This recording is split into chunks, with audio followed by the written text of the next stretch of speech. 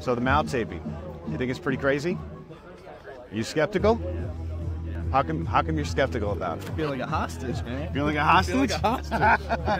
That's kind of why we named it that way.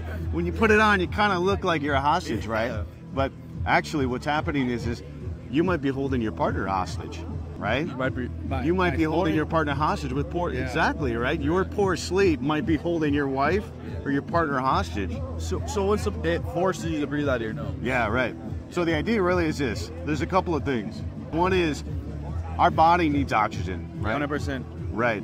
But what transfers the oxygen into our body? It's CO2. We mm-hmm. need CO2 in our body to make that transfer.